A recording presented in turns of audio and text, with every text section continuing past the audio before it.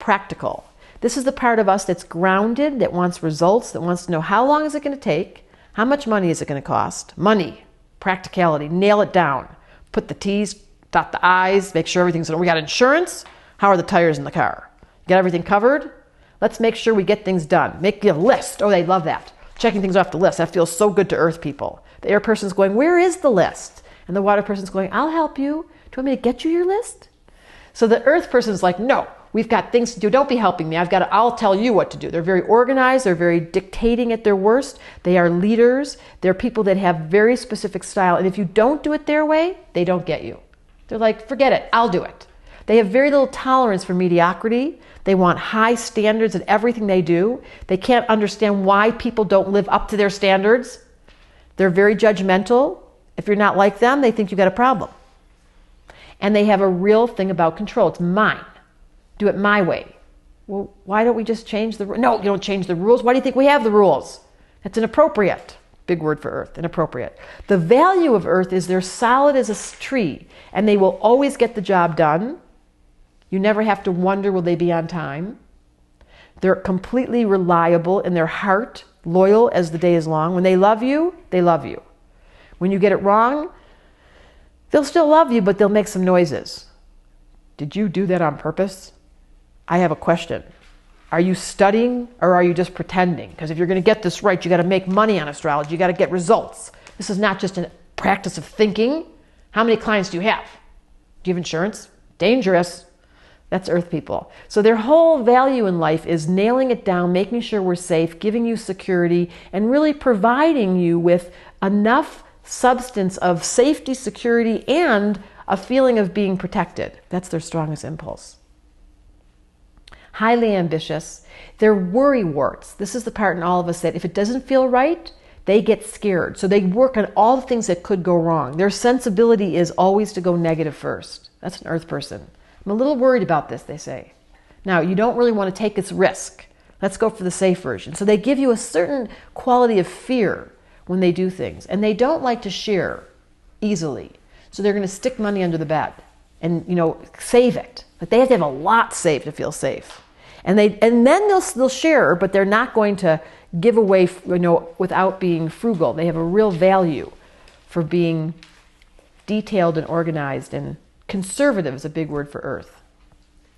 So they're the people that go shopping, they look at labels, they're very into nutrition, they're very into food, they're into gardening, they're into being outside and taking care of the world, and they, they really care about what they eat. And they can't figure out why you don't. And the air person's going, I don't care. Sometimes I do, and sometimes I don't. And the water person's going, You're scaring me. Am I going to get a disease? Like, is something wrong? If we don't eat the organic, why do we have to eat the organic? And the earth person's going, I'll give you a list. I got the research. Here, read this book. So it's a very natural impulse for them to be the teacher and to be the one to give you information. And the air person's the researcher that can complement that earth, and the water person's the dreamer that came up with the idea in the first place. So you can see how they all work together. I think Earth is the element on the planet that has been the most abused because we value money so much and being successful. Our definition in our society is you are only as useful as you are that you produce and you're successful. We don't value uh, a water person who's still and gentle and kind and healing and loves to be with kids and animals. We think that's just fluffy. But if you're earthy and you're practical and you've made a lot of money and you drive a nice car and you've got credentials, suddenly you're worthy of being given adoration. So it's a curious thing. Earth people are burdened, and they often say that. They're always the one that has to do the blah, blah, blah. Why am I always the one doing the dishes? Why am I always the one calling you? Why am I always the one having to take care? Because you do it. And if the earth person doesn't do it, they get nervous. You could never say to an earth person, listen, don't do the dishes. Why don't you just leave them? Oh, are you kidding? That would be inappropriate. I can't leave them. I get nervous. So they complain, earth people, about their life but truthfully, they couldn't stop doing it the way they were doing it. So you've got to be very careful. Earth is the element of being on the downside, negative and whiny. It's more less whiny, more complaining. And on the upside, they're very strong leaders and they serve because they love to. I always think of Mother Teresa, that this is such an earth sign, that she had this project of the lepers in India that were never ending. But that was her love, was to help the people that would never stop needing help. That's the nature of earth and it's healthy. You just give because you love to give, not because you're keeping track of what's coming back. Okay, so that would be earth. So if we follow the day, we started the day in the shower in the bathroom, we went to the air, got the computer on, figured out who we had to talk to, looked at our appointment book, and now earth is what do I have to do today to check off my list? Did I get everything done? Have I really completed things? Do I feel like there's a deadline? I need to reestablish my priorities for tomorrow. And then at the end of the earth, you say, Now, what's for dinner tonight? And what are we having? And where am I going? And I better go get the food. So, at the earth element of the day, the earth cycle, is manifestation, checking off your list, and preparing for the evening. Earth is always preparing for the future. Uh oh, I'm scared, says Earth.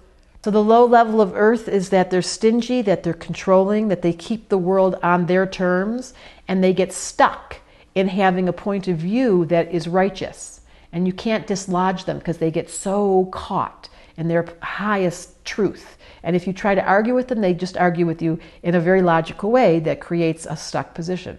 At the highest level, they are business people who can consider the whole picture. So their practicality still holds true, but they're going to include the other person's point of view. And they're going to be students. At the highest level, Earth is a very profound student of life and really has a fascination with learning from a practical point of view. Yes, it doesn't mean it's just an intellect, but they really want to figure out how is the most efficient, the best way I can do this, and what can I learn. So at the low level, they're controlling, and at the high level, they're humbled, and they've really learned the art of including the other and learning from other people rather than being the expert and the only one that knows and the arrogant one who's you know got all this control around their money and their things.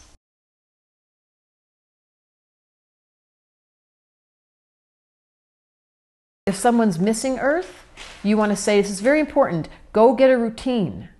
Like, I don't care what you do, but be consistent. So, if you're going to have breakfast every morning, if people don't have earth, they need to create what are you having for breakfast and have it every morning for a month and start practicing routines. If it's going to be going for a walk at the end of the day, if it's getting your plants, going out and buying plants, because people that have no earth can't do plants, and start watering them and make a relationship with that practical area of um, earth I say to them, go clean your closets. Like I'll say to somebody, you need to go home. You have no earth in your chart. You have no respect for the physical world. It's not your fault, but you've got to cultivate it. So go home and take care of that practical world.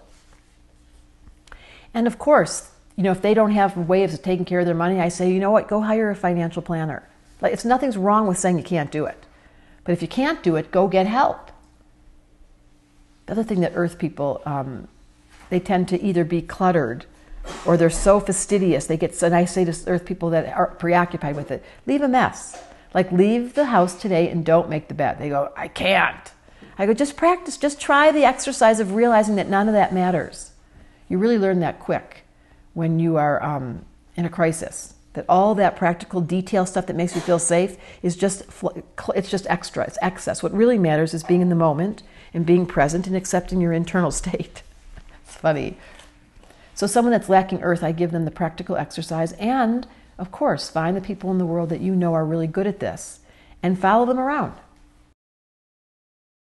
Fire is the element of joy and laughter and humor and a little bit wild. It's the part in all of us that goes, okay, already with all this stuff. Where is the fun factor? Turn on the music. Let's go for a run. I need to sweat. Where's the sex? Come on, give me a little juice. Crank it up.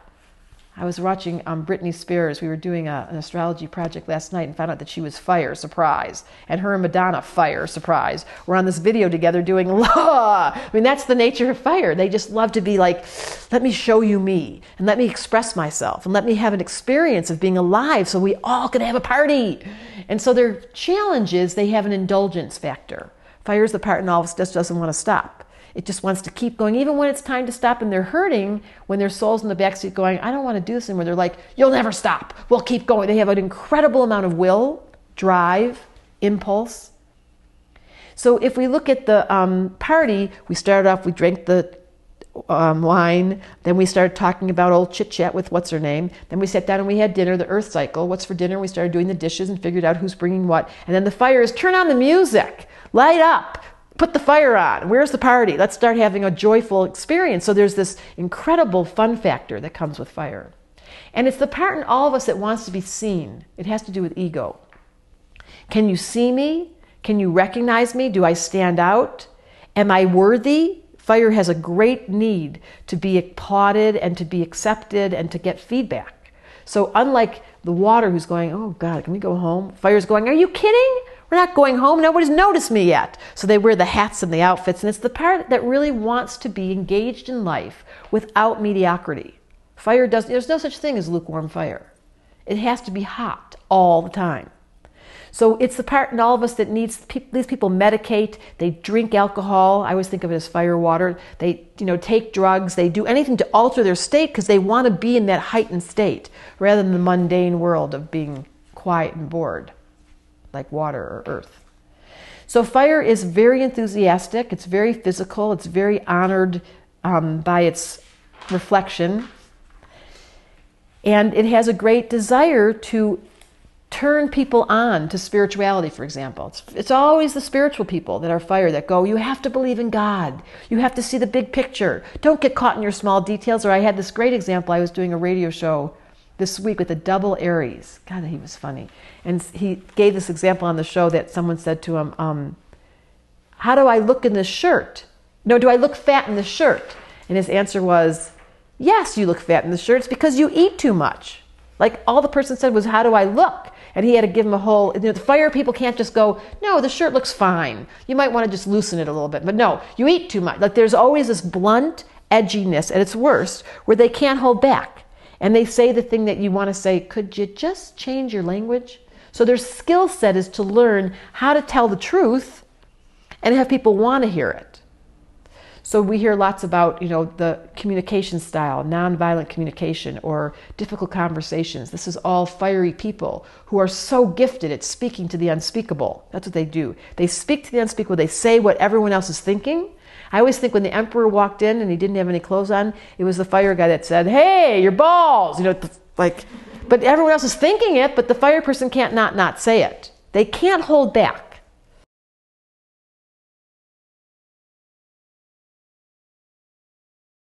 When someone's missing fire entirely, I tell them to go get music and put it on really loud and sing, whether it's in the car or it's in your house. They've got to open up their throat chakra. People that are missing fire can't get angry. They get angry and they start to cry immediately. They don't have comfort in their body with pushing. So if they can start learning how to use their voice, especially in singing, because when you sing loud and you're comfortable being loud, in the name of joy or pleasure, it doesn't take you to the fear part. And then you start getting comfortable. Wow, I can move the chi or going and getting exercise. I will tell people that are missing fire, you have to exercise. Like, there's no question here. If you don't move your fire, you're going to get sick and you're going to find yourself lethargic. When someone's missing fire and has no energy, I always counsel them. I say exercise is exorcism. Because if you're holding on to stuff and it gets stuck in your body, it's only exercise that gets that stuff out.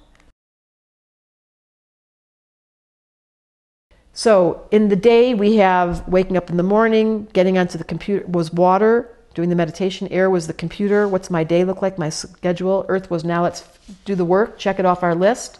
Let's make sure that we've got dinner planned. And then we sit around at the end of the day in the fire cycle around the hearth, around a fire with a glass of wine, and we share our stories with our family and say, How was your day? Tell me everything. And, oh, you won't believe what happened to me today. And we do the complaining and the stories, and we get all juicy. So this is the natural flow of the, of the elements. People that are lacking one of these elements, and you can see by your own scores, if you're low in water, and that would be anything between five and below on the um, test on the website, that has to do with people that don't know how to feel. They're cut off. So if you lack water, it means that you really don't have compassion in an easy way. You hear a story and you're like, what's the big deal? If you're high in water, which would be seven or above, it means you feel everything. And you can cry at the commercials and you're wondering why you're feeling sad walking through someone's house or you get the wrong vibe or it's very, very sensitive. Those are people that are hypersensitive and can't find their boundaries if you've scored high in that first category. The second category, if you scored low, they're not social. People that have low scores in air, they don't really have the interest in being able to talk to others. They find people boring they don't have that fascination that the air people do. Like, what are you thinking? And what are you doing? And tell me a new story. They're like, I got work to do. So people that don't have air don't have that same interest and they tend to be more introverted. And as a result, they have a less easy time with relationship. If you've scored very high on air, it means your favorite thing is socializing. In fact, you can be overly distracted because of the intellectual appetite that you might have. And the last is fire. If you've scored low on fire, that means that you're scared of conflict. You're going to avoid it at all costs. You're going to hold in rather than speak out. And you're going to drive three miles out of the way to avoid the, the fight. So you're going to probably feel at times like you're getting taken advantage of, or you can't quite find your passion, your voice. You can't figure out how to stand up for yourself and organize your world for your own value, for your own ego, for your own fulfillment. If you've scored very high on fire, it means that you're very comfortable in being publicly seen, taking over, showing up, being physical, getting in your body and going for a run. That would be the easiest thing for you if you have a high score in fire. In fact, not being physical is like the weirdest thing. So you can see now we've just done the general, these are the four elements. And what you're going to find out as we get to the next cycle is when you take a planet, for example, you take, let's talk about Mercury just briefly, is the thoughts. You're going to learn that Mercury describes how your mind works. If we take Mercury and we put it in a water element, how would your mind work? Just think about it for a moment. If you put your mental body in the element of water, you're going to find yourself under the, you know, it's kind of nonverbal, feeling things. I often feel like water people keep their eyes closed at their favorite. So that would give me a clue of how your thought process worked. If your Mercury was in air and your thought was working on the level of socializing and communicating, I would know that you have a natural gift at making your mind go quickly and speed and intellect. If your Mercury was in earth, I know immediately that you think in bite sized bits. You're going to be practical. Your mind is going to want to organize and organize and get things in its right place. That's how you're, you couldn't figure out how to do it any other way. And if your Mercury's in fire, you've got an impulsive mind. That even if you're a water sign, this is simply one of the planets. So what you learn is you take the planet, and first at this moment, just take the element. This is the very simple second to fifth grade. What planet, what, what element is my planet in. So we're going to do more of that in a moment, but we've just done the elements. So water, air, earth, and fire, my very close friends that you can't get rid of. You can't live without them. I don't know how long you can live without water for like something like 10 days to two weeks. Can't live without air more than a minute or two. Can't live without earth without food. And can't live without fire is the sun, is the heart. I always think of the red blood being fire, the heartbeat give us a minute and that's done. So these are the four primary elements, and they are at the center of this entire system of astrology, as they are of many ancient practices. From Judaism is ruled by the four worlds in the Kabbalah, the Buddhists have the four noble paths. And even in Hawaii, it's water, air, earth, and fire is their four central pieces to their whole hula philosophy. So it's everywhere. And the question is, what's the distribution you're carrying? And how do you make peace with that? And the most important question is what of these four elements are you low in? That's what we're going to look at. Of the four elements, usually one or two feels really comfortable, and one might feel a little awkward, and sometimes there's one that you're not comfortable with at all. So you always want to balance. It's like four wheels on a tire. That's the nature of the elements. And you're driving a car. And if one of the tires is low, you're going to be off balance. So I'm going to look at your chart and I'm going to say, what's the nature of the distribution? And how do I help this person? And the last and most important detail is what element is your Saturn in? And we're going to look at that more. But whatever your Saturn is in is the most important indicator of what you've come this lifetime to learn.